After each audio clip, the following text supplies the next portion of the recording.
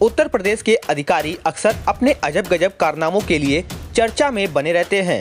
आज हम आपको विकास विभाग के ऐसे अधिकारी का कारनामा दिखाएँगे, जिसे देखकर यकीनन आप भी सोच में पड़ जाएँगे कि आखिर किस मंशा के तहत योगी सरकार के इन अफसरों ने यह कारनामा कर दिखाया है।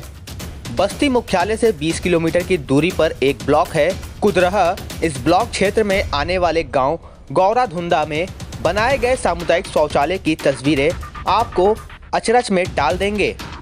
ऐसा हम इसलिए कह रहे हैं क्योंकि जिस तरह की सोच के साथ इस सामुदायिक शौचालय का निर्माण कराया गया है, वाकई में गजब का है।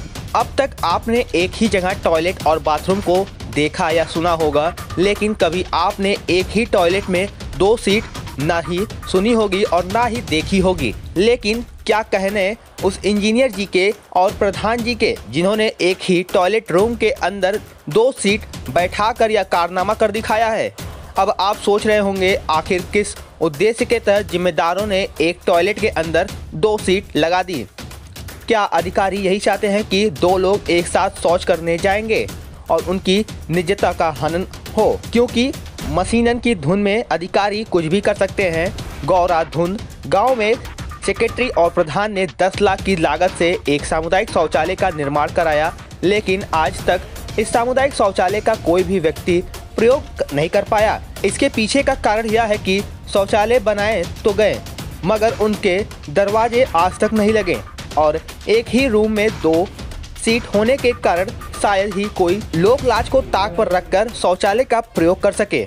इस पूरे मामले को लेकर जिला पंचायत राज अधिकारी ने बताया कि दोषी सेक्रेटरी को नोटिस जारी कर दी गई है और सख्त निर्देश दिया गया है कि जल्द से जल्द उक्त सामुदायिक शौचालय को ठीक करें।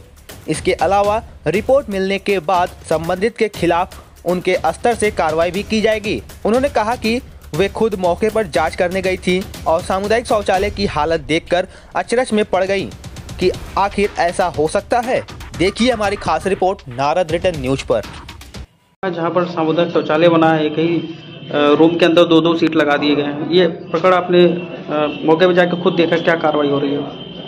इसमें संबंधित सचिव को स्पष्टीकरण जारी किया गया है और उनसे इस नोटिस का जवाब मांगा गया है कि किन कारणों में ऐसा हुआ है और अभी जवाब अभी तक आया नहीं है।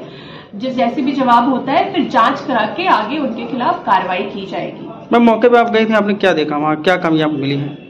हाँ शौचालय में दरवाजे नहीं लगे हैं और एक एक ही कक्ष में दो सीट स्थापित कर दिया गया है।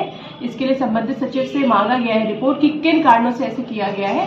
संबंधित कार्रवाई संबंधित खिलाफ आगे की जाएगी। इस मामले को लेकर जिला पंचायत राज अधिकारी ने बताया कि दोषी सेक्रेटरी को नोटिस जारी कर दी गई है और सख्त निर्देश दिया गया है जल्द से जल्द इस सामुदायिक शौचालय को ठीक कराया जाएगा और पूरे मामले की कार्रवाई की जा रही है। देखिए हमारी खास रिपोर्ट।